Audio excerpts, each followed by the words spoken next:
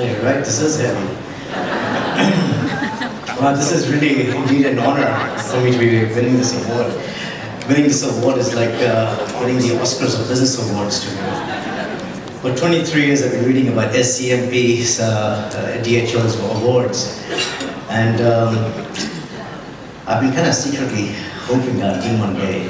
So I'd like to thank the, the jury behind SCMP DHL Business Awards for having chosen me for this lovely award tonight.